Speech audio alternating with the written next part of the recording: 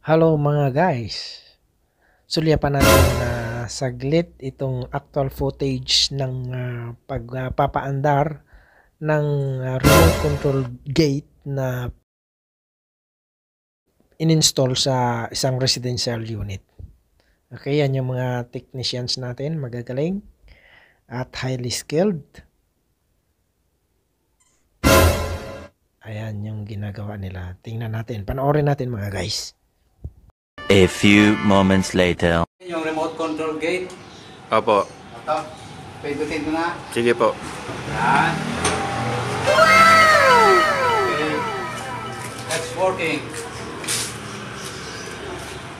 Remote control gate.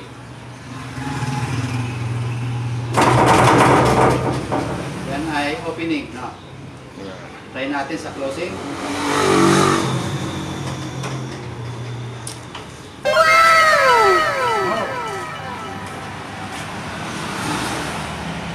Na kailangan ng katulong. Only a remote. Okay.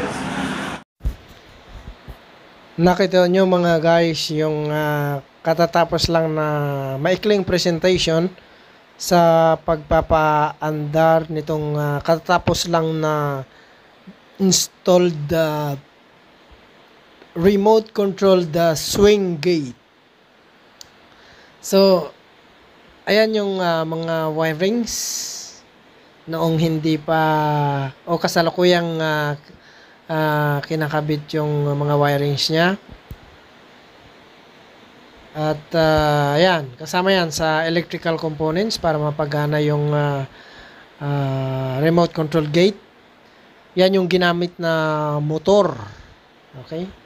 Malaki yung motor. Ibig sabihin, matibay talaga at ah, matagal ang serbisyo nito. Yan naman yung ah, sensor okay, na tumatanggap ng ah, command galing doon sa ah, remote control.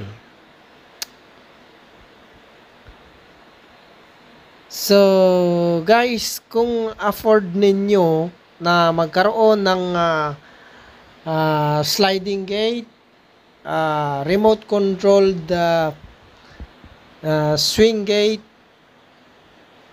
butterfly type, single or double panel, ah pwede nyo kaming kontakin. Si Mr.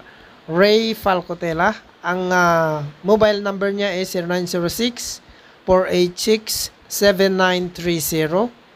At ako naman, ah, Jonathan ah, Moyo, pwede nyong kontakin sa number ko 0906 472-9682. Okay?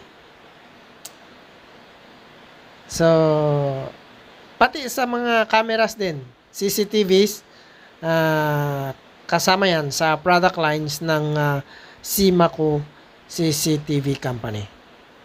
Okay, thank you very much guys for watching and ah, see you in my next vlog episode.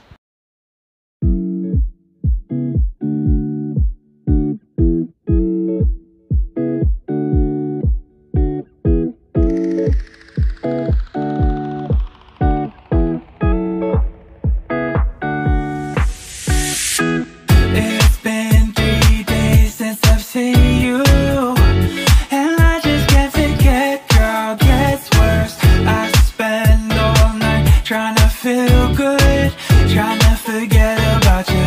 I can't forget about you. Oh, I can't explain just what you've done.